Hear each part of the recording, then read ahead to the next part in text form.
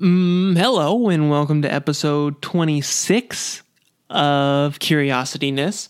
I'm Travis DeRose, the host of this show, and uh, thanks for being here. This episode was pretty fun for me. I hope you guys enjoyed as much as I do because I have on uh, Mal Pearson from, he has a website called Makes That Didn't Make It which he basically writes the stories and documents all of the car makers that have gone under or like or orphan cars and, and that kind of stuff. So cars like uh, DeLorean, you've probably heard of, who doesn't exist anymore. A bunch of car makers like that, like the Tucker, the Bricklin, which I used to own.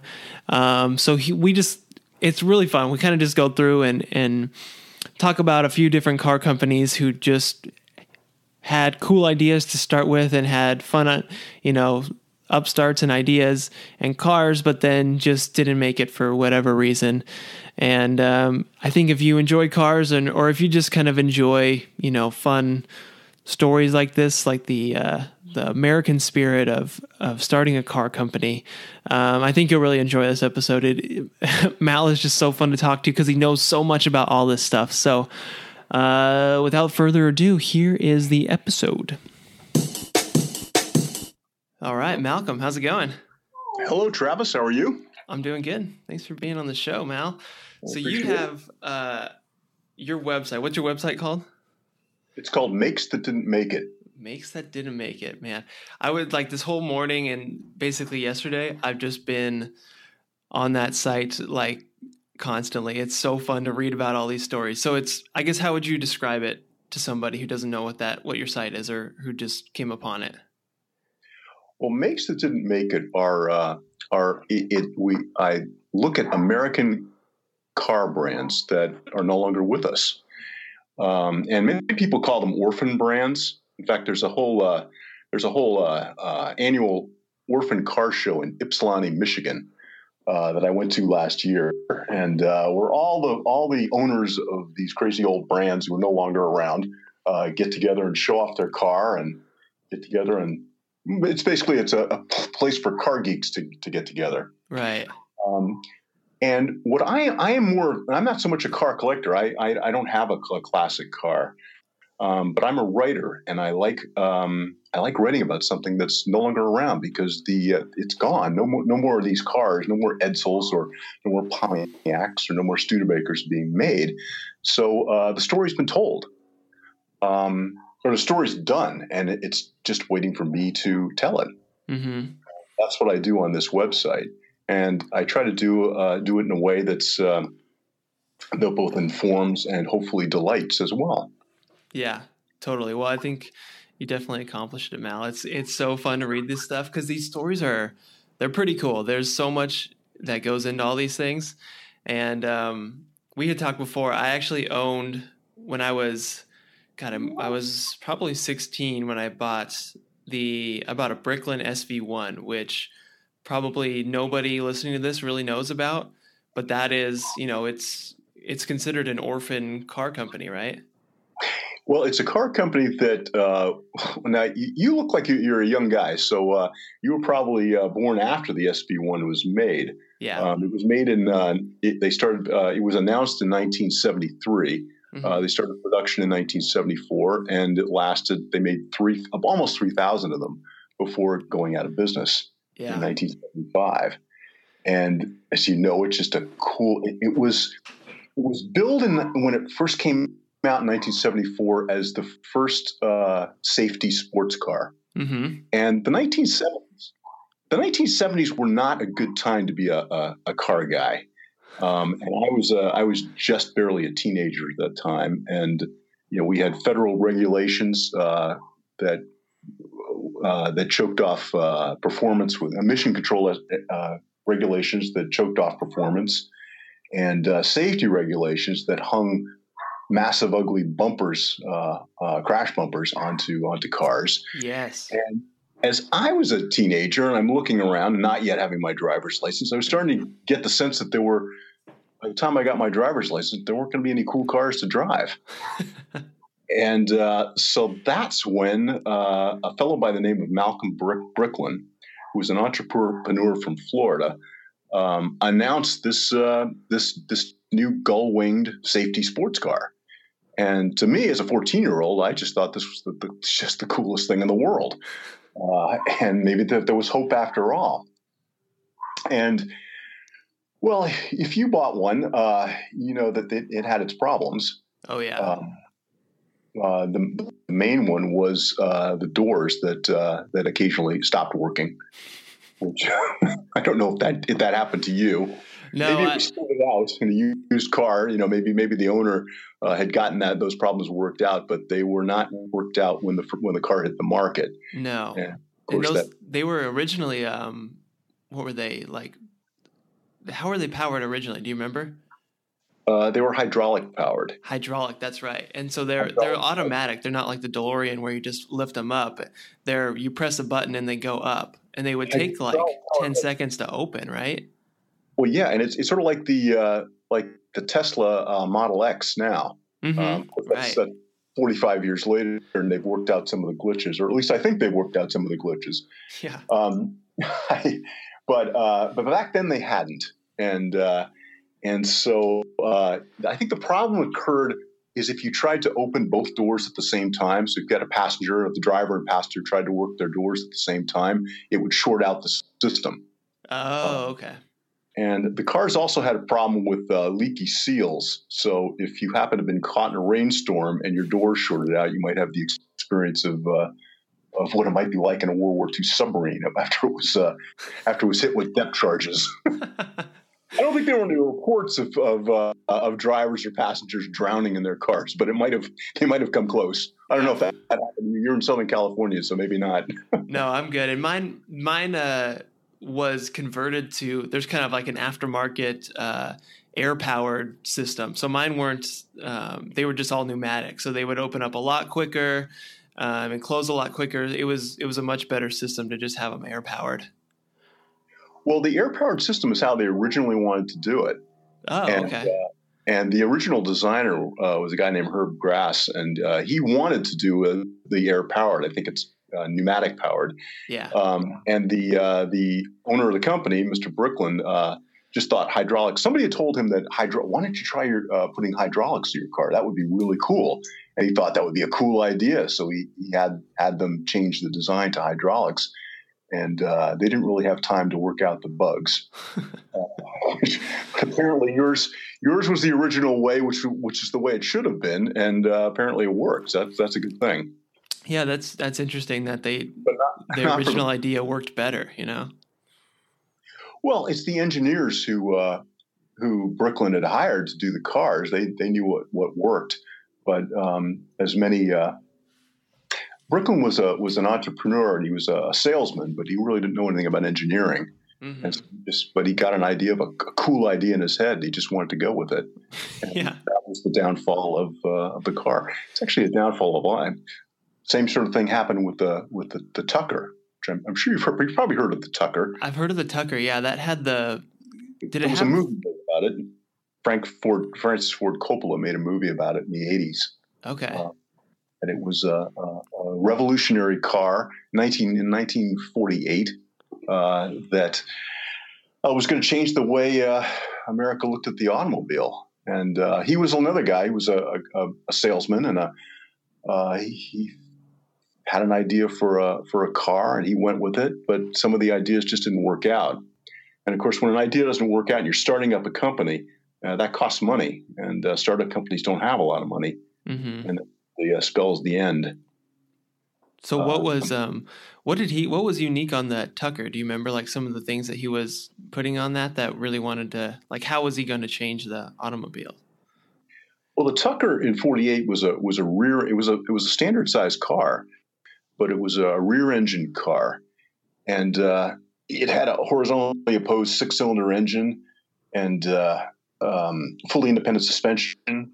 It had uh, a third headlight in front that would uh, that would turn and illuminate the corners as you. It would turn when you turn the steering wheel. It would turn that center. That's right. Headlight. Yes. Yeah, I remember so that. corners. Um, it, uh, it was also considered a safety car. He had, uh, but they didn't know much about safety. feature was uh, the fact that it had a, a compartment um, down below the dashboard that you, if you felt you saw yourself going into a, a crash, you could uh, dive down to this compartment to protect you from being uh, thrown out the thrown through the windshield. um, no reports. They only made 50 of them, so there were really no reports where that worked out so well. Yeah. But it was certainly an interesting idea. Yes, for sure. Yeah, it's funny all the all the like using safety as like a, a selling point, you know? Yeah, and back then it didn't really work so well. Um, mm. I know they tried they tried using safety as a Ford Motor Company tried using safety as a selling point in the fifties uh, by by offering seatbelts as an option on their cars. and apparently, consumers thought, well, if you need to put seatbelts in a car, there must be something wrong with the car. So I don't I, I don't want to buy this car. Yeah. So they found that uh, that uh, safety was not a selling point back then. That's so weird. Oh man, that's how I was able because I was you know uh, when I was 16 I had to kind of convince my my parents to let me get a Bricklin. You know, this like older 1975 car and that's like how I made the case to my mom that it was it was a good car for me to get was because it was a safety vehicle. You know, it had the five mile per hour bumpers on it, and it had a full on roll cage integrated into the body and everything. And uh, she bought it. She she believed me, I guess. So I, I was able to get one. And that was the uh, that was the first car ever to have a, a fully integrated safety cage. Yes. Oh, that's right. groundbreaking car. Now, of course, it's uh, federally mandated, but mm-hmm. 45 years ago, it was not. Yeah. New idea. And that car was really heavy because of that. And the I, the doors too. Before we had them working, to open the doors were like hundred pounds to lift up the gull wings. It was like ridiculous. But boy, it was a good looking car though.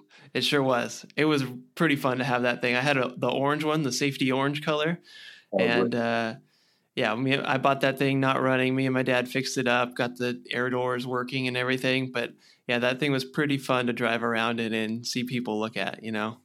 Now I'm curious, how much did you pay for it back then? I think I what did I pay? I think I paid like four four thousand, five thousand, something like that. Yeah, it's one of those cars that I, I keep I keep an eye out for. It's always been a favorite of mine. I keep an eye out for it, and I just saw a couple. Uh, one of them last month just sold for fifteen thousand bucks. Oh. And another one this month, well, November, uh, sold for almost that amount. Huh. They're, those... they're picking up in popularity. Yeah, interesting. Now, I think people like you are just attracted to, hey, this is something different. Mm-hmm. And uh, and that's really what the makes that didn't make it. That's what this website is about. And what I do is because um, orphan car brands are something different, something you don't see very often. Um, everyone is attracted to cars like the Mustang and the, the Corvette and the 57 Chevy, and and those are always going to bring high dollars at, at auction. Um, mm-hmm. Um, but the the more unusual brands don't bring those kind of prices, and people, some of the speculators aren't quite so interested in it. But uh, more eclectic people um, gra- gravitate gravitate towards it. Mm-hmm. Yeah, it's like a it is a cheaper way to get a car that really is going to grab people's attention and and turn some heads. Like I would take, I took my car to um, some car shows, and it was just it attracted everybody because no one's ever seen it before. No, no, no. Yeah. It, and that's that's one of that's one of the attractions to to all these cars is uh, you know people want something people want something different. Yeah, mm, totally. Yeah, it's they are fun to own. I I wish I still had that thing, but it was just um, it was an old car, so it wasn't the best to drive. You know, compared to modern stuff, so it wasn't good for like a daily driver, and I didn't have a spot for a second car really. Um, and the other thing was I couldn't. I'm six one, six two, and I just couldn't fit in the Bricklin. Like I put the seat as low as I it would go. It wasn't even really adjustable, but we kind of changed out the bolts and stuff. And I just my head would rub against the top, and then when those, you know, I'd have to lean in and duck down every time the doors came down, just so I wouldn't get you know knocked in the head by them. So it wasn't the the best fitting car for me, but yeah, it, it was fun to have while I while I had it for sure. Yeah, I'm glad you enjoyed it. That's yeah. cool it's good stuff. It's fun to do this. Um, so yeah, what was that? What was the uh, Orphan Car Show? Was it was just full of kind of the cars on your website there? So Ypsilanti, Michigan. It, takes place every year in September in Ypsilanti, Michigan. I think I hope I'm pronouncing that right. Uh, Ypsilanti with a Y. Um, and uh, Ypsilanti is the home, is the birthplace of Preston Tucker, who Oh. uh, talked about was the inventor of the Tucker. hmm Uh, and it is also the place uh, he uh, it was a place that uh, Kaisers were were built. Kaiser was uh, you- you've heard of Kaiser Permanente, the healthcare company, hmm and that came out of uh, out of building Hoover Dam uh, back in the in the Depression, and uh, it was to, to create uh, healthcare for the uh, for the workers at the Hoover Dam. And Oh. Henry J. Kaiser was this engineer who built Hoover Dam, and uh, and then during World War II, he started building Liberty ships, uh, which were the, the cargo ships, the transport ships that that supplied uh, in Britain during the Battle of Britain, um, and then supplied the U.S. forces in Europe, uh, and they were able to build uh, these massive uh, cargo ships in a week, one week's time. They could build a ship. So Henry Kaiser was somewhat of a he was sort of an industrialist hero. You know, back then during World War II, uh, industrialists were considered to be heroes when they were uh, you know serving our country and serving the war effort.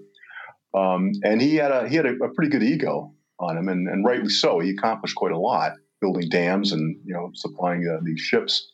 hmm Uh, he decided that um, automotive automobiles were the uh, the future of transportation, and he decided that he could get into uh, building building cars uh, and could go up against the big three: General Motors, Ford, and Chrysler. Uh-huh. And so he bought this um, this uh, uh, army surplus. It was a, it was a, a plant that built uh, uh, B seventeen bombers. Um, of course, when the war was over, they didn't need to build bombers anymore. So Henry Kaiser bought this plant and uh, decided to build cars in it. And uh, that lasted about eight or nine years, and then that he found out that he could he couldn't do it.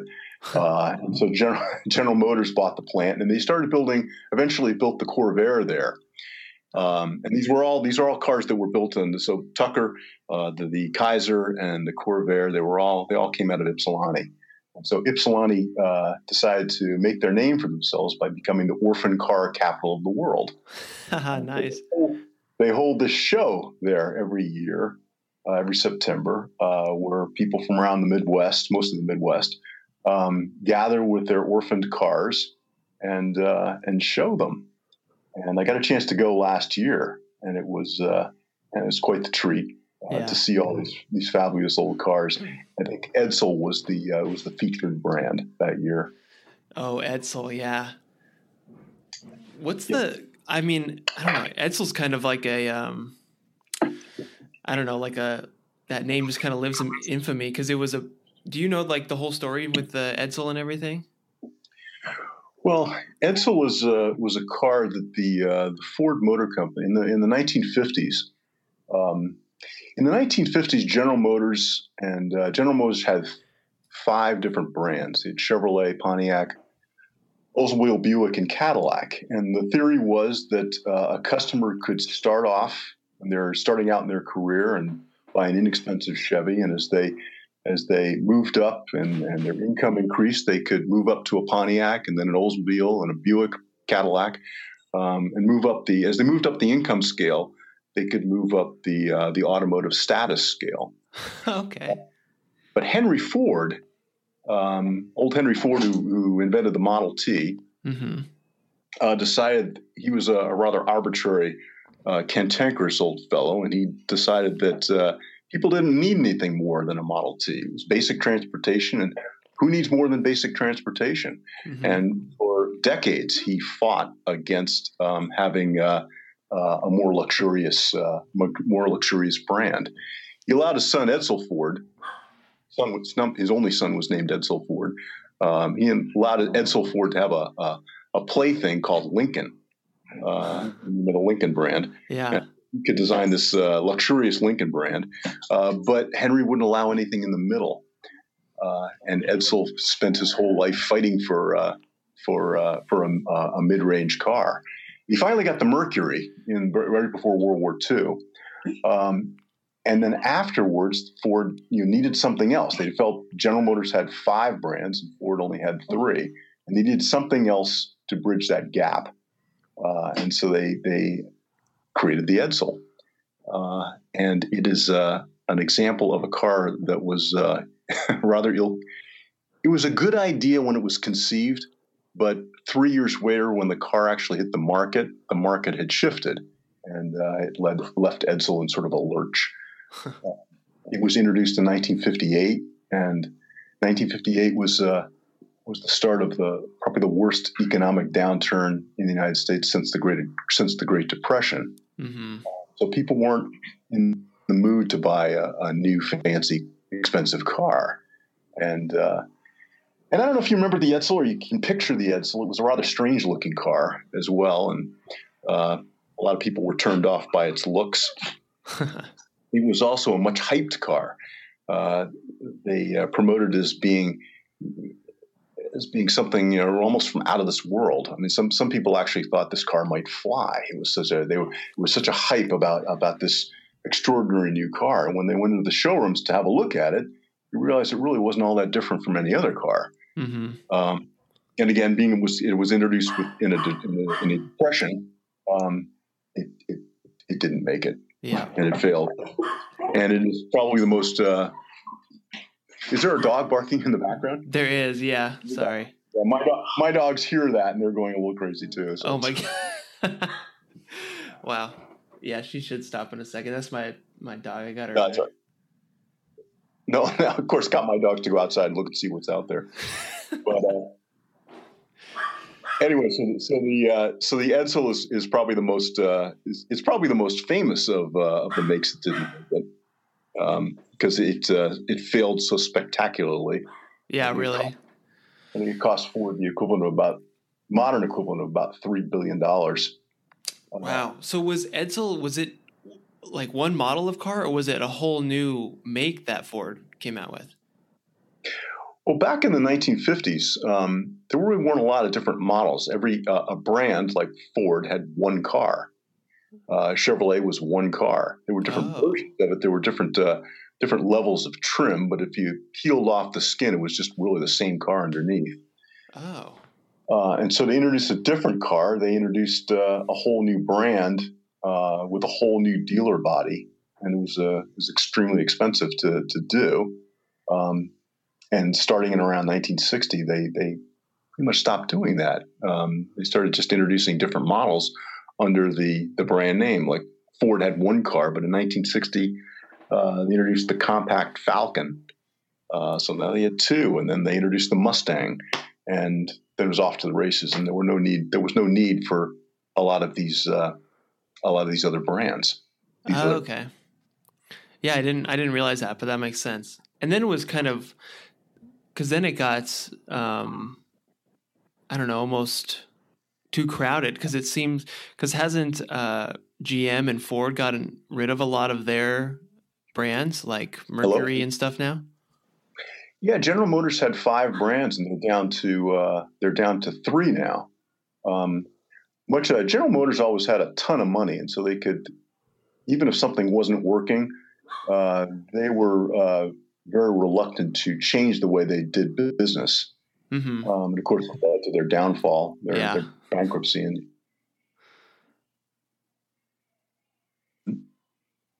uh, to kill off a brand. They finally did so in 2003. They killed off the Oldsmobile brand. Yes. Um, poor old Oldsmobile. When you're when you're when you're it's it's it's hard to appeal to new young buyers when your name is Oldsmobile.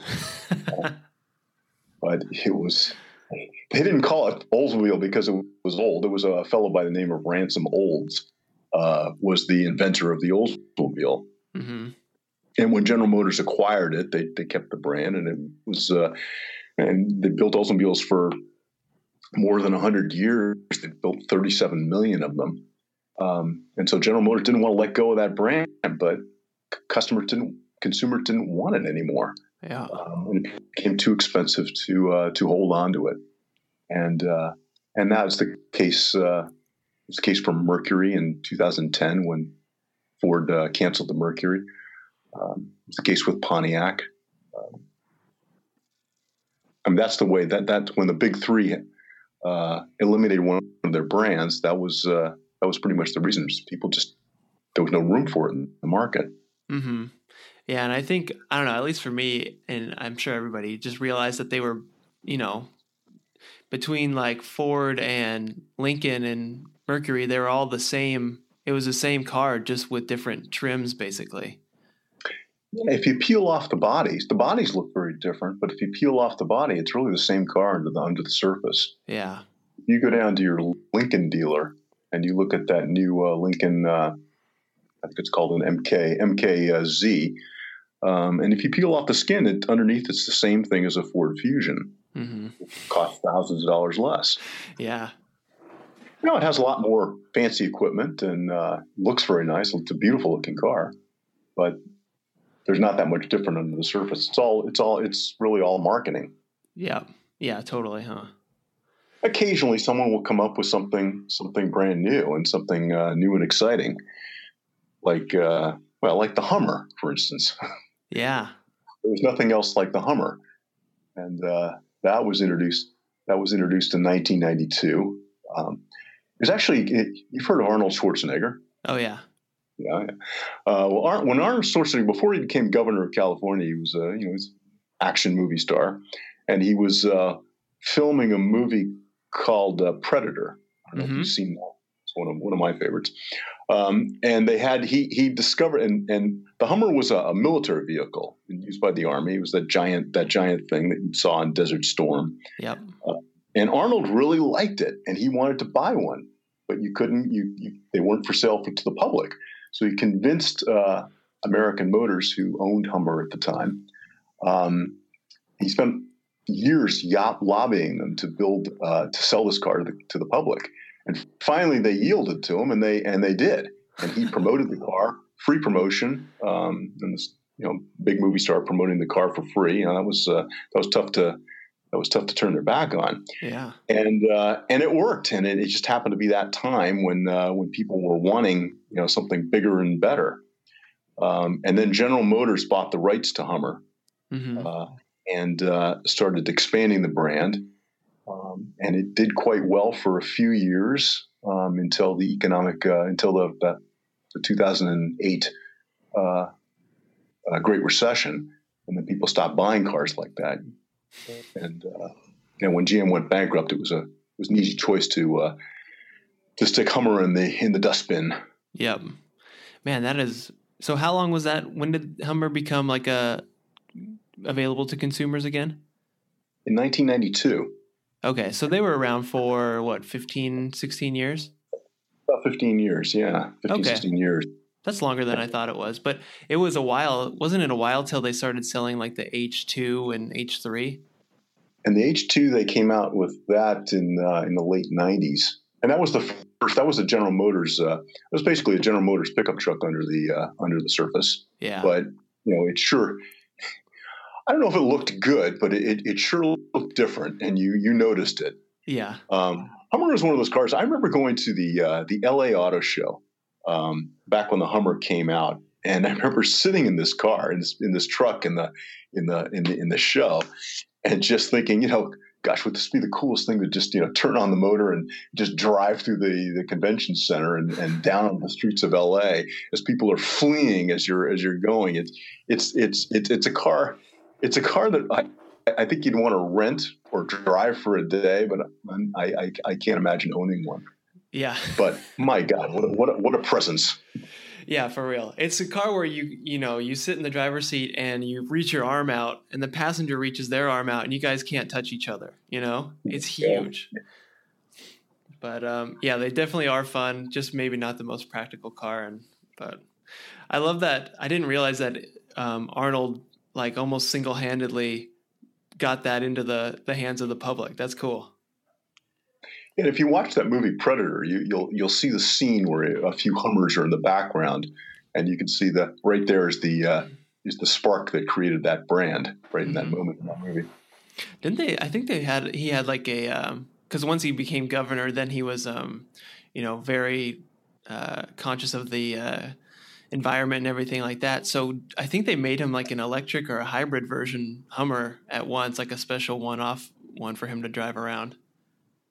I, th- I think they did. I'd, I'd, I'd heard that. I'd never. Uh, I'm, I'm not sure that that's the case. That may just be a, a story. But I know that that um, that Schwarzenegger had a collection of Hummers. He had at one time seven Hummers, uh, but when he became governor of California, of course, California is not uh, is much more of an environmentally conscious place, and so he was forced to uh, to get rid of some of his Hummers. So he uh, I know he sold them off for charity auctions and things like that.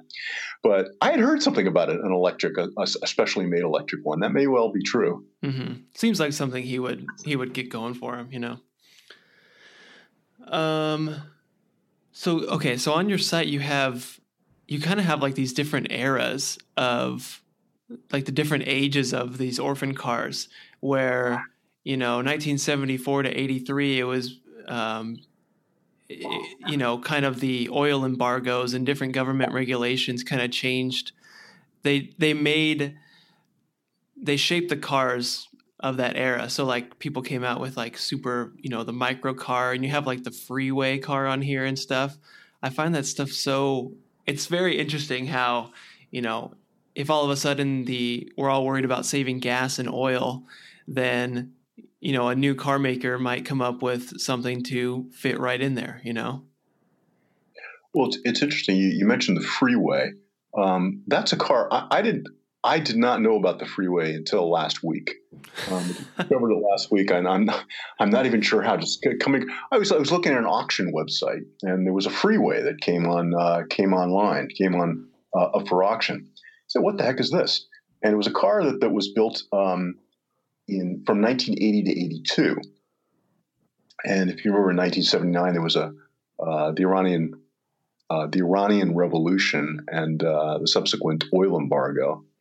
Um, and so entrepreneurs were scrambling to build uh, to create fuel efficient cars, and one of them was this, the Freeway, and uh, and we were in a recession, so it was a it was a minimalist car. And I, the Freeway had one seat, one door, one headlight, and it was powered by a one cylinder engine. So I, I, don't think you can get more more minimalist than that. Yeah, really.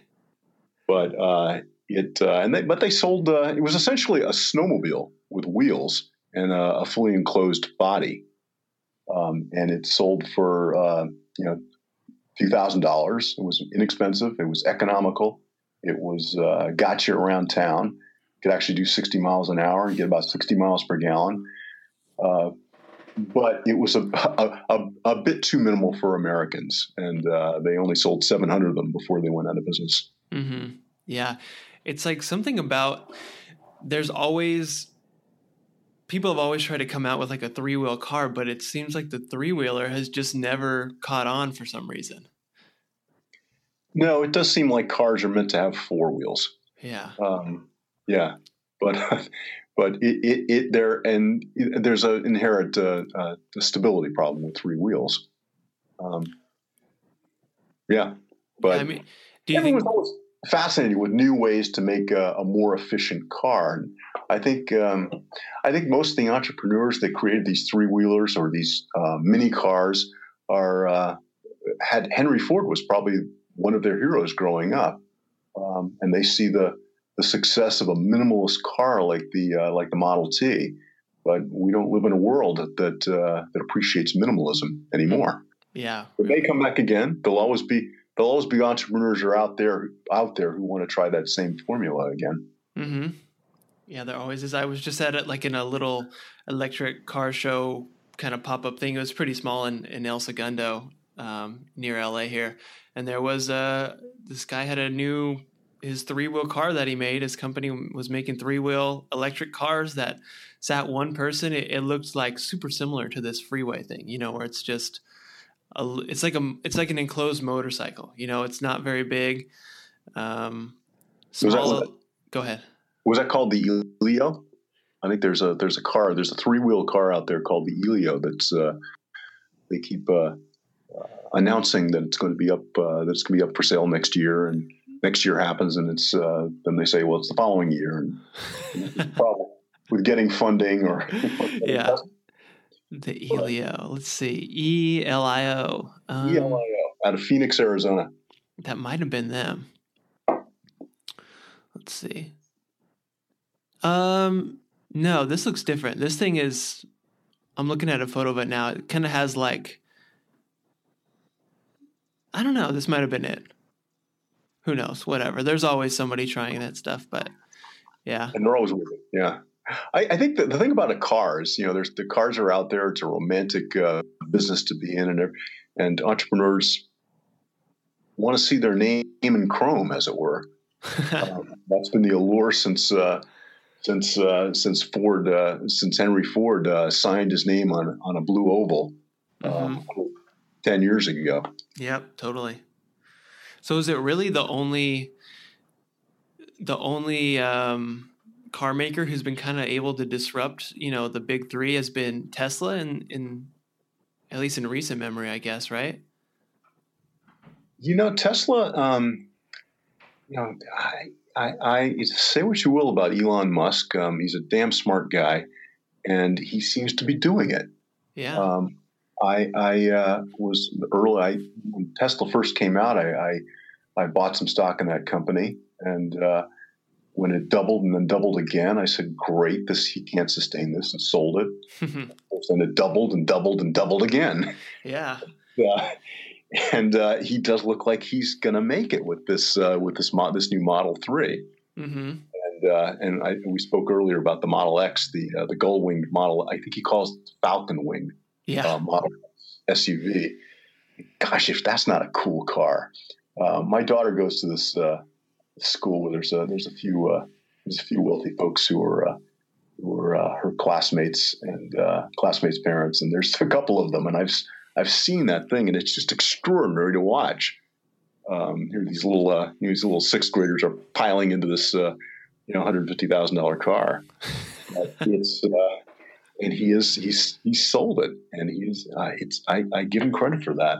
Yeah. I took a trip down to uh, to L.A. down your way for Thanksgiving, and you know there weren't too many car carriers on the road. Uh, there weren't any car carriers on the road except for uh, one's carrying Tesla Model 3s. Mm-hmm. Yeah. Um, and uh, he said that he's going to build a half a million of them a year. And gosh, it looks like he might actually do it. Yep. It's crazy because, you know, it's sort of all these new new car companies that entrepreneurs kind of bring up. They have sort of uh, something that makes them unique and different from, you know, they have their unique selling point, like the the Bricklin was super safe. The Tucker was super safe. Um, you know, these three wheel cars are very economical and small and easy to get around with and stuff.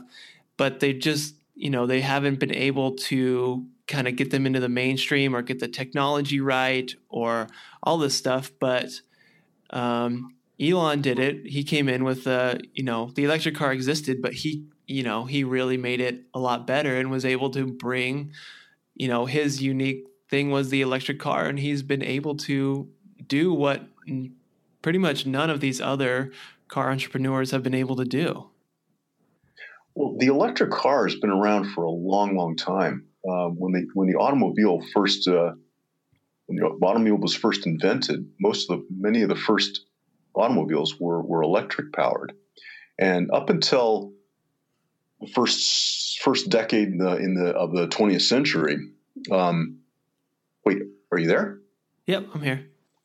Oh, sorry, something's going wrong here. Um, let me get this. Uh, there we go. Sorry about that. Um, where was I? Yes. So the um, the first the, the first decade of the, of the 20th century, um, it was still undecided whether uh, the automobile going forward would be powered by electricity, gasoline, or steam. Mm-hmm. And uh, and it wasn't until uh, it wasn't until um, technology for uh, an electric starter um, that, that, made starting a gasoline powered car um, much more simple. That, uh, that the gasoline won the won the race, but up until 1912, really, um, it, was, it, was, electric was the way. Mo- possibly more cars were powered uh, by electricity than by gasoline. Huh. Uh, but ga- uh, electric cars were limited by their uh, by their range. They could no, no electric car could do more than uh, 50 miles on a charge, mm-hmm. and that would go down significantly as you the speed or uh, if you're going faster or you're going up a hill. Um, and that technology didn't change until um, really just 10 years ago with the with the Tesla, uh, with the nickel uh, the I guess you call it the nickel uh, uh, battery, um, which Oh, could yeah. hold a charge for much longer. Um, and so a Tesla has a range of uh, 200 to 300 miles, and and that was always the, the that was always the, the, the sticking point for electricity um, until they could reach that uh, technological threshold. Uh, electric, electric cars were never going to make it, but now it's possible. Yeah. That's Now, interesting. I didn't realize that even back then they had a range of, you know, 50 miles and you know, in the 90s and stuff we were getting, you know, that's what electric cars were still getting. There hadn't been any real improvements on that. No, not at all. Huh. Um, until that sort of quantum leap of, uh, technology. Yeah. Um, and we'll see about Tesla. I mean, the the the, the you know the, the story is still being told there.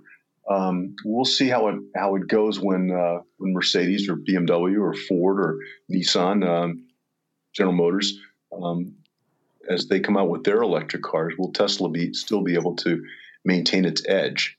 Mhm. And Totally.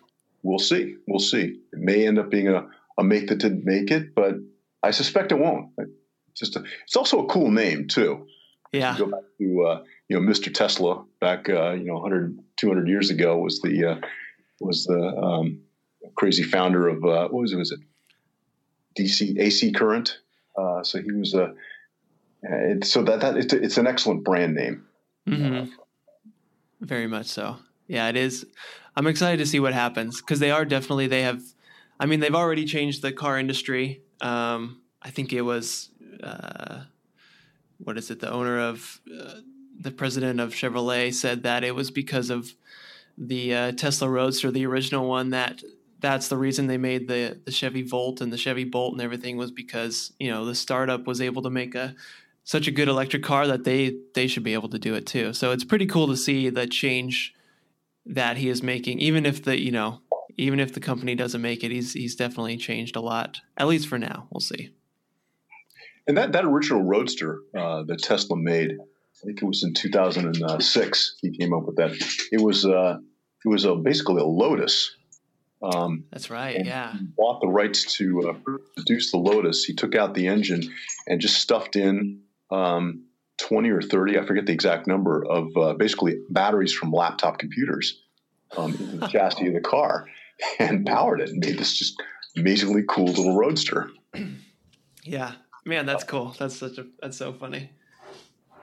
But it wasn't until the Model S that uh, that really did it. I remember the first time I saw a Model S on the street. Um, I guess it was uh, uh, I guess it was uh, four years ago now.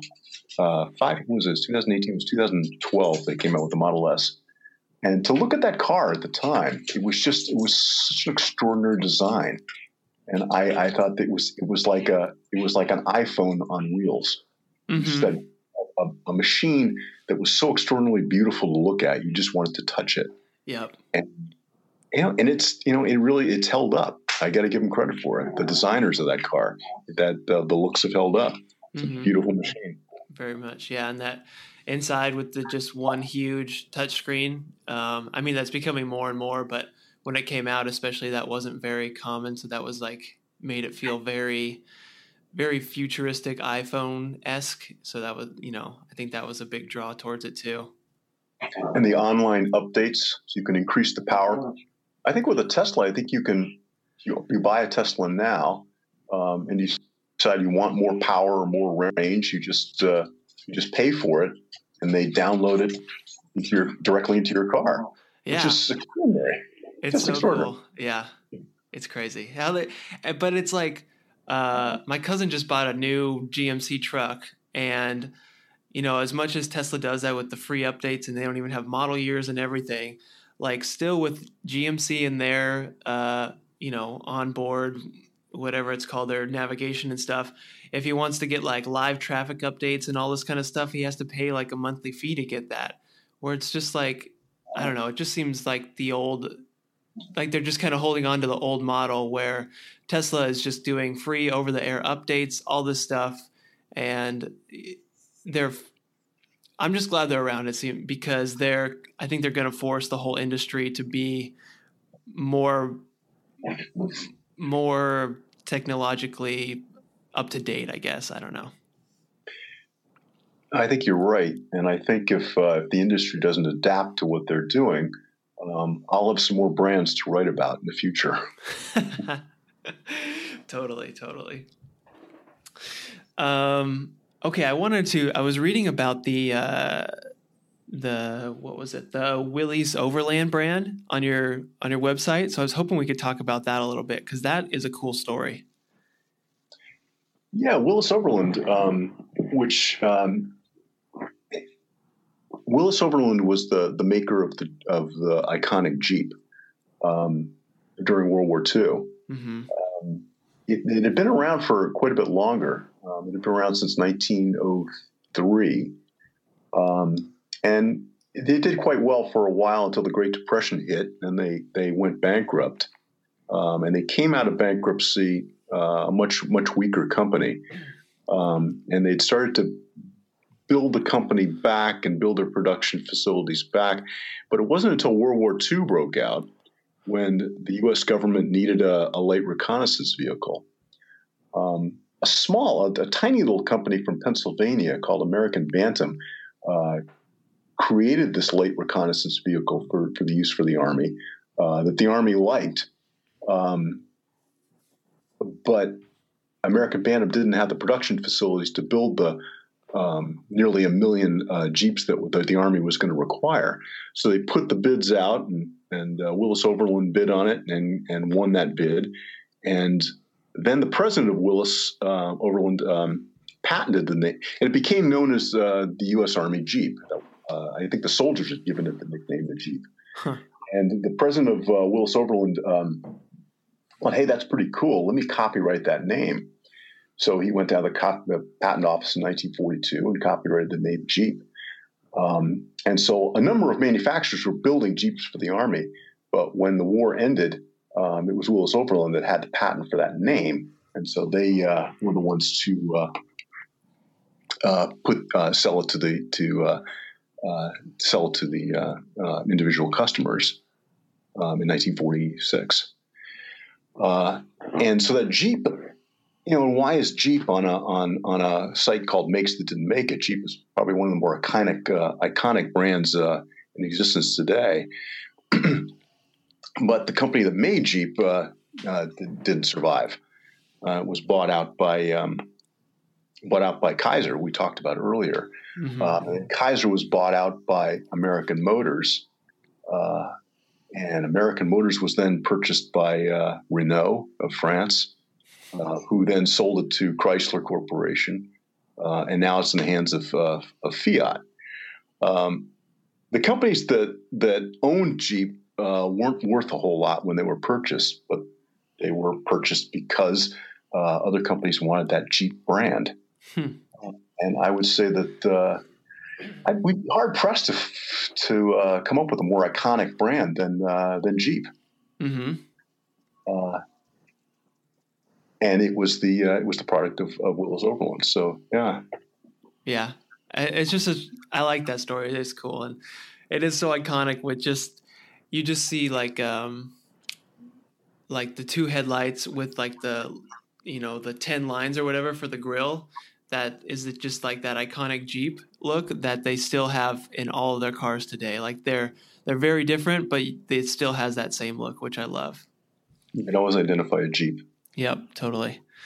Yeah, I have the uh, the Jeep uh, Patriot, the older one. I don't think they make it anymore, but mm. I feel like it was kind of the last, besides the Wrangler, kind of the last Jeep to have that real Jeep look. They still sort of have it, but it's more of a modern, squished down face and everything that I'm not a super fan of. But uh, I do love my Patriot. That thing is fun you can still get that. You can still get that Wrangler, which has the uh, the original DNA of the of the U.S. Army Jeep from uh, from World War II. Mm-hmm. Yeah, it's great, and like it hasn't even changed that much. The older ones, like you can tell the difference, and they I think they did just go through a body style change, but if you didn't, you you really have to look to see what they change. All they do is like move a couple little things so that the people who love Jeeps are going to buy new ones, but they just they just keep that same style and look because it's just so good. It's crazy how a car is able to do that. It's true. It just looks like it's it's it's evolution at its best. Yeah. But, you know, going back to that that orphan car show that I, I went to last year, um, you know, there was a there was a 1946 uh, uh, civilian Jeep uh, there, and to, to look at that original Jeep and to see how tiny that that that that vehicle is compared to the the new Wrangler, you know, with the f- four doors, and uh, it's it's it's incredible. You, you see how much that vehicle has changed. Yet, as you say, it's still you can still identify it instantly for what it is. Uh huh. Yeah, I didn't realize it was so much um, so much smaller. Even than like the even if you get a newer two door one, is it were the uh, you know ones from the fifties and stuff still a lot smaller? It really is, and I, I I've seen pictures of, of them side by side, and it looks like uh, you could almost fit two of the old Jeeps into the new uh, four door Wrangler. Interesting, weird. Yeah, cars are just getting bigger, I guess. Same with the Mini Cooper. Like, uh, you know, when they revive that to the new Minis, the now they're just they're like almost twice the size. They're so much bigger than the original Minis were. But um, well, really, my, my wife has a, a, a 2015 Mini Cooper, uh-huh. and and if you compare it, actually, I saw a uh, I saw a uh, uh, an original Mini uh, from the 60s, and uh, in a parking lot, and I parked my wife's uh, my wife's Mini Cooper next to it, got a picture of it, and it is and it almost looks twice the size, right? yeah. it's still it's like, like the Jeep. It's still you can still identify it as a Mini. Yeah, that's true. That's another one that's that is kind of the same. That hasn't changed the style much, even though they have added a bunch of new models and they're trying to make like the smaller crossover size and everything. It's they still look the same. They still look super similar. It is, and that original Mini Cooper that was a it wasn't called. It was just called the Austin Mini. Uh, when it came out in 1959, that was a that was a, that that that changed the way cars were built forever. That was a, a groundbreaking car because it was the first car that that was commercially successful that used a transverse mounted uh, front wheel drive, uh, which allowed for so much more interior space. Uh, but, by not having to have the transmission, uh, the drive shaft go through the, uh, the the passenger compartment. Oh, so and really every car now that has front wheel drive now um, pays homage in some way to uh, that original 1959 Mini Cooper. Okay, wait. So what what was different about it? Can you explain that again? So prior to prior to the Mini, the original Mini, uh-huh. um, cars were a front engine and a, a, rear and a rear drive. So the yeah. drive shaft would go from the from the engine to through the center of the car through the interior cabin, right, or underneath the interior cabin to the rear wheels to drive the rear wheels. And uh, so in 1959, they uh, um, an Englishman by the name of I don't even think I can pronounce his name. It's Sir Alec uh, Iglesias, I think it is. That's not the way to pronounce it. Something like that. Uh, he's a, a, wonderful engineer, an eclectic engineer, and he said, "Hey, why don't we just turn the engine sideways and have a uh, and power the front wheels?" So the engine intrudes in no way intrudes into the passenger compartment. That way, you can make a much smaller car, a, a small car, have tremendous amount of room. Uh-huh. And he, when the car was introduced in 1959, it was an incredible hit, and uh, they built it for another. Uh, I think the last mini, the last original mini, was made in '73, so that was uh, 15 years of building them. Mm-hmm. Okay. So millions of them. Yeah. I didn't realize that Mini was the first one to really do that because that seems that is very common now. Now there may have been cars before that, but that that had done it, but it was the first one that was commercially successful. Right. Okay. Wow. Cool. And I, put, put that. In. What was that? No, that's um, oh, what were you going to say? Well, I I don't know if this is true, but I've I, this might be you know rumor or lore or whatever, but I heard that they got the basic size and shape for the Mini by they just put four, you know, regular like dining chairs down on the on a large piece of paper and sat four people in it and just put them as close together as they could kind of comfortably fit. And then just he drew a square around it and then that was the uh, the shape for the interior of the of the mini. That was the size of it. That's true. That's a true story. And it's uh and it's minimalist at its best isn't it? Yeah. It is very cool. Those are fun. Um Okay, so now I'm looking. I'm on your site right now, and I'm looking at this uh, car called the uh, Sir Vival. Now the Sir Vival. Yes, that's a. You know, I, I ran across that car. I, I, found that was a, that was a that was actually uh, one of the first. Uh, I used to call it one of the first safety cars. It was 1958. Um, it was uh, there was a fellow from Waltham, Massachusetts, an engineer from Waltham, Massachusetts, had uh, had heard somehow that since the at that time, since the beginning of the automobile, uh, one million people collectively had uh, been killed in traffic accidents um, at that time in 1959, 58. Mm-hmm. Yeah. And so we decided to build a safety car that would eliminate uh, traffic fatalities. So he decided to come up with, if you see the picture, it's hard to talk about this without having a picture in front of you, but he decided to create this this bi a bisectional car. And so if you look at that picture, you've got uh, there's a front section and a rear section.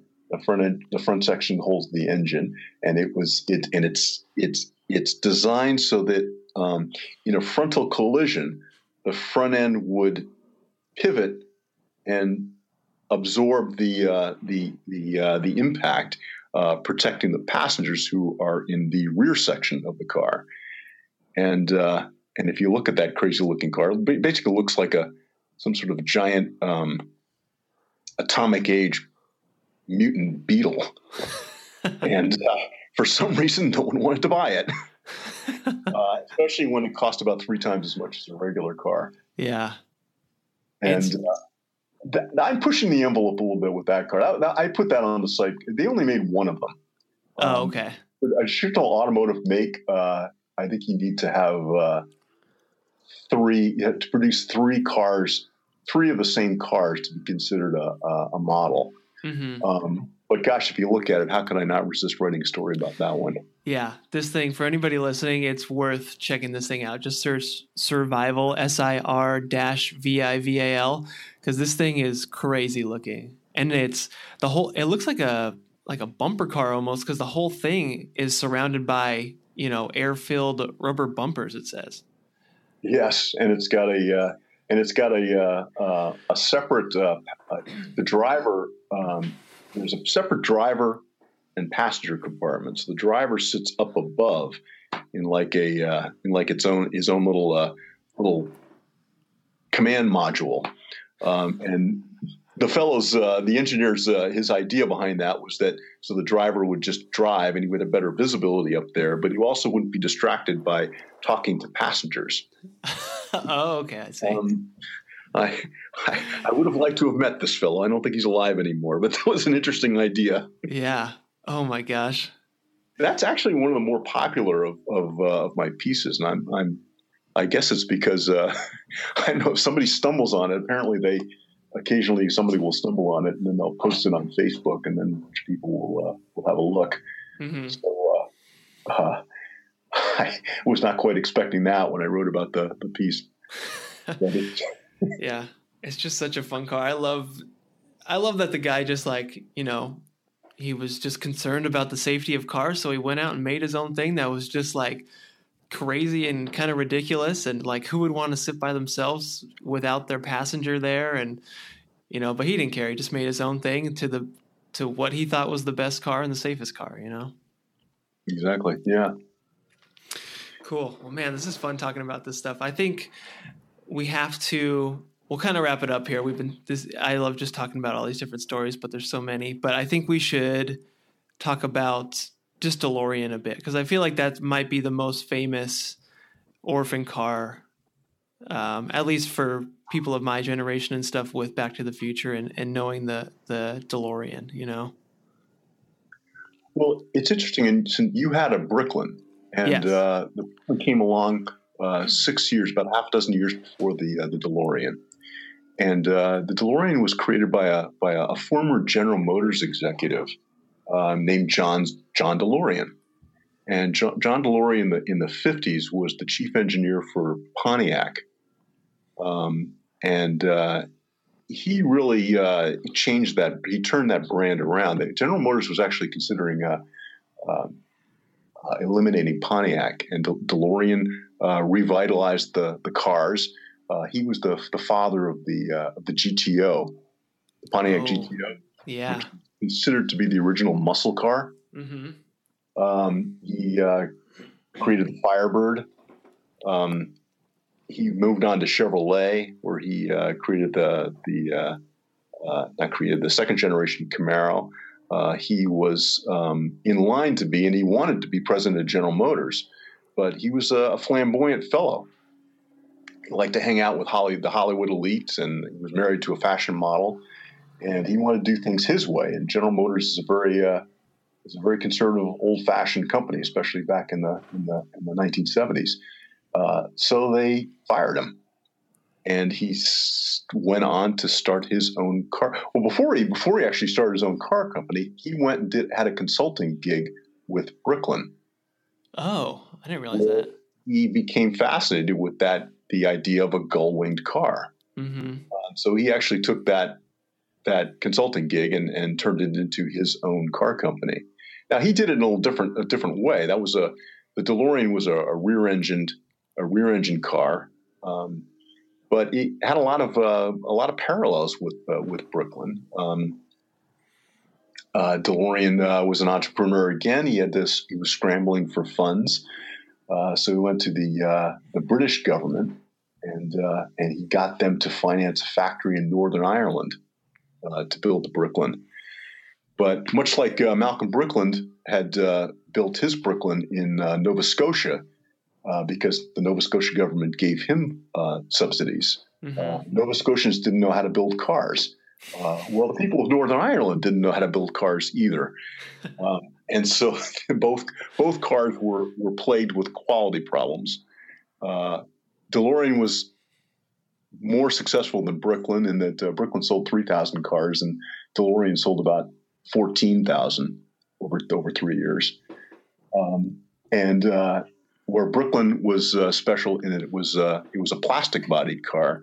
Uh, DeLorean was a stainless steel car, and but the difference, the other difference is Steven Spielberg decided that ah stainless steel that we could use that for our movie, and and and it was because it was a stainless steel car that it could have the translux capacitor. Was that what was called the translux capacitor? The the flux capacitor. And uh, and of course that uh, uh, that made the Bricklin um, that made the Bricklin famous. Mm-hmm. Couldn't you couldn't you couldn't buy publicity like that? But too bad the movie came out uh, ten years after Bricklin was out of business.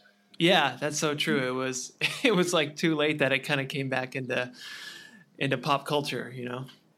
But by gosh, you know, like I said, the, we started the conversation, uh, Bricklins are going for about fifteen thousand, but uh, DeLoreans are crossing the gavel at uh, twenty-five to fifty thousand bucks. Mm-hmm. So, totally.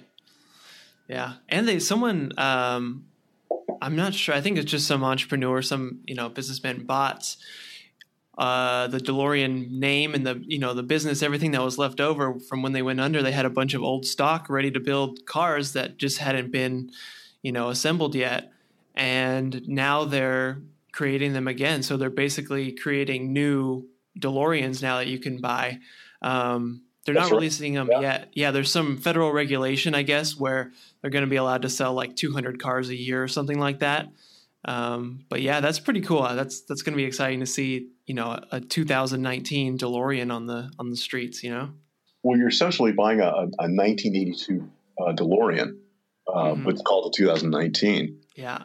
And uh, yeah, that, that legislation haven't, hasn't passed yet, but it, it looks like it's going to. Yeah. That's that's going to be fun to be able to have uh, cars like that. Yeah, very cool. Yeah, I think they're doing because the DeLorean wasn't. I mean, it was underpowered, but there was nothing. You know, was there anything really wrong with it? Why did the company go under? Was it just because of more because of John DeLorean, all the stuff that happened with him?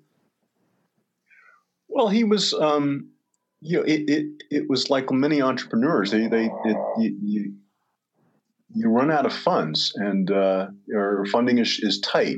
And DeLorean, when he ran out of, uh, when he ran out of money, he decided to, uh, to find, you know, the old story, he decided to finance his company by selling, trying to buy and then resell, um, 55 pounds of cocaine.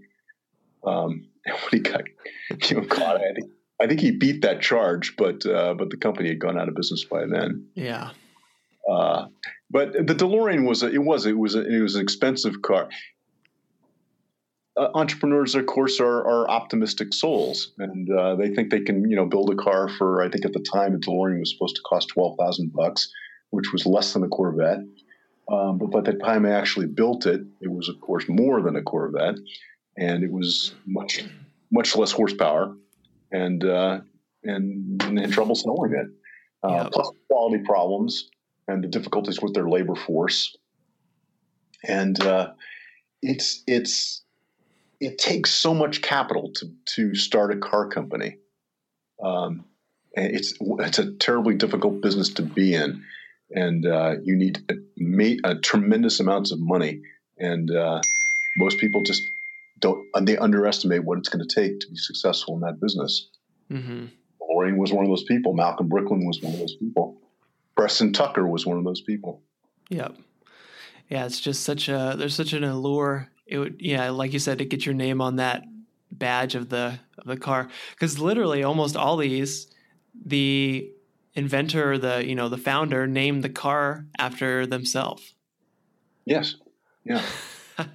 Like- That's funny. I never Henry realized Ford. that. Yeah, like Henry Ford. Exactly. Yeah, they all just want their name on it because it is. It would be pretty cool to have a car company with your name. You know. Although Elon Musk didn't name his car the Musk. probably a good, probably a Which is good a good- move. Yeah. Good idea. Yeah. Dang. Well, Malcolm, this is so fun to talk to you about all this stuff. I love, you know, hearing all these stories. This stuff is so interesting to me. So I'm glad you have the site and are documenting this for everybody to read and and not forget these stories. You know. Well, Travis, I appreciate you having me on. I I, uh, I think of myself much more as a writer than a talker. So uh, please have a look at this site. I, uh, I I'm glad you enjoy it. I enjoyed meeting you and talking with you. Sorry, I can actually you, we can't actually see each other with our little Skype problems here, but Yeah. No. No worries. We got we got it worked out. Audio's audio's perfect. So this this was fun. Um, so why don't you just tell everybody, uh, you know, where they can find you, your your website address, and then if you have any other social media or anything you want people to check out. No, I just have the website. It's called uh, it's called the Makes That Didn't Make It www.makesthatdidn'tmakeit.com, and uh, it's not as a commercial site. I don't have any ads. I just uh, it's just a place to go to learn about old cars and to read stories about old cars. Perfect. Yeah. I definitely recommend anybody checking it out. It is fun just to read through all these things. So cool. Well, I'll uh, I'll link to that in the in the show notes for all this stuff, so people can just click on that and go right to the to your website and check it out. But uh, yeah. And Travis, the, the best of luck with your new with your new podcast. Oh, I thank you. Hearing it, um, whether I make it on or not, I look forward to listening to it because you, you seem like a fascinating fella. I like what you're doing. Awesome. Well, thank you, man. Appreciate All that. right. Go take care of those dogs. All right. Yeah. You too, as well. Thanks, man. Have a Okay. good one. Bye bye. Bye. Hey guys, Travis is here again. Um, so the podcast is over. It's done. So you can just leave right now. So don't worry about it. But I just had a couple things I wanted to mention and say to you guys. So first of all, thanks for listening to the episode or watching the episode. Super appreciate that. Um, if you want to connect with me or in, in the podcast, uh, we're on. We have a website. It's called curiosityness.com. Um, Curiosityness is C U R I O S I T Y N E S S. Kind of weird. Um, but that's what it is. Curiosityness.com. Uh, you can go there. We have an Instagram, instagram.com slash curiosityness podcast. So not just curiosityness for the username. Uh, I'm on Instagram as Trav DeRose, T R A V D E R O S E, if you want to find just me. Um, oh, we're on Facebook, facebook.com slash curiosityness. We're on YouTube. Uh, I think just go to YouTube and search curiosityness and we'll pop up. Uh, I don't think we have a URL for that one. Sorry. Oh, and we have a I have an email address, travis at curiosityness.com. So if you want to email me, you know, give me your thoughts on the show, suggestions, tips, uh, maybe like a suggestion for a new for a guest who could come on, maybe yourself or somebody that you know who might be interested or or you would like to hear on the podcast, let me know about that stuff. I, I would love to hear that. Um, oh, and then if you could leave a review too for the podcast, that'd be super appreciated. Uh, the reviews in like in Apple Podcast or Spotify or whatever, wherever you're listening to this, super help. Um, just drop like a star, whatever star review. I won't tell you to do five, but it'd be nice. Uh, so drop a review. You can write a review even too if you want. That would be even better. Um, but that's about it. So thanks again for watching. I super appreciate you, you know, listening to the whole show and staying here. Um, and yeah, thanks again. Have a good day. Bye bye.